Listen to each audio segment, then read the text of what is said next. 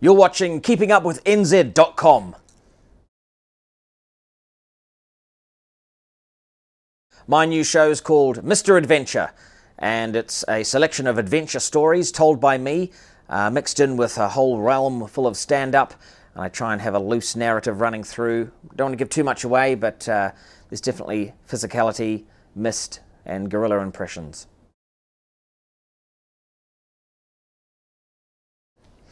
My first routine, that's going back a bit, I think around about 95, when uh, Mike King and Andrew Clay came to town. I was in Christchurch. There was an ad in the paper, uh, open spot available with Pro Comics.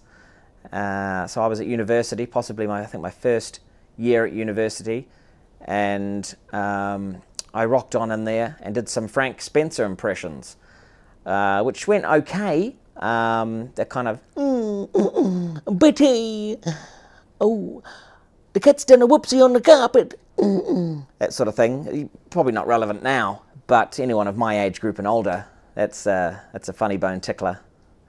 And also, I did this thing about um, fishing. I remember quite clearly. I uh, my first joke was about uh, how exciting fishing is. Uh, it was kind of an ironic thing. The most exciting part about fishing was the casting.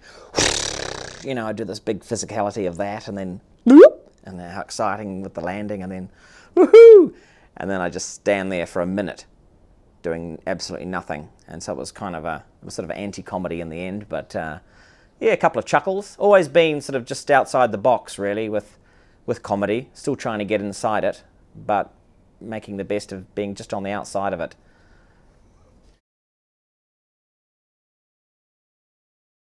Uh, I don't really know any pub jokes, but I do have a couple of my own jokes, or I, I guess you could call joke jokes. Uh, and one that comes to mind is I used to go out with a girl that uh, was into self harm. So uh, I didn't know what to get her for her birthday. I just went out and bought her a hammer. I said, There you go, love, knock yourself out. Um, she did. And uh, yeah, I had to take the hammer back in the end. Uh, for me, superstition doesn't really come into it. I'll wear anything, you know, I'll perform any day, you know, I mean, I won't perform under a ladder, um, but I don't really have any weird ticks or routines I go through before I hit the stage. There's nothing spooky. I just, um, I used to do a thing where I look up at the comedy gods and go, come on, guys, please be with me on this one. But um, I've stopped doing that now. I think I've just got too old. Now I just sort of have a cup of tea and jump out there and see what comes out. Uh, so go to rhysdarby.com to find all the details of my new show. It's a nationwide tour, 17 cities, well, towns, villages. I mean, we don't really have that many cities, but um, yeah, get in there because tickets are going quick, and hopefully, I'm coming to a town near you. Oh, hello, I'm Jarred Christmas, and you're watching keepingupwithnz.com forward slash what's happening, New Zealand, hyphen New Zealand, what's happening, what's going on, dot. Whoa, this is hap. This, what's the haps? It's the DL.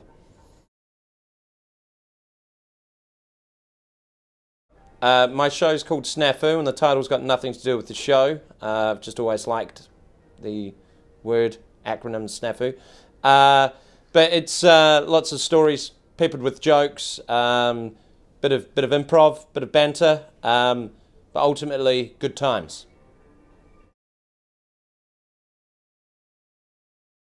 My first routine uh, was about uh, if you got the propeller from an aeroplane uh, bent over and put it up your bum, put your arms out, would you fly?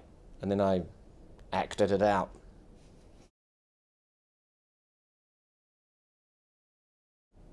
I'm okay with black cats.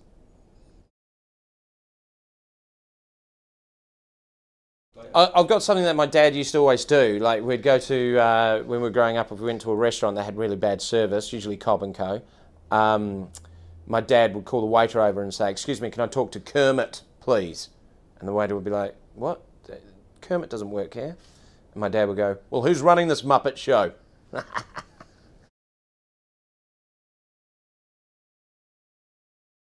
just be true to yourself. Don't don't steal other people's shit. Don't be a dick. It's a lot of don'ts. Be honest. Be honest with yourself. Yeah. Do Yeah. what you find funny. Do what you find funny. I don't know where these answers are coming from.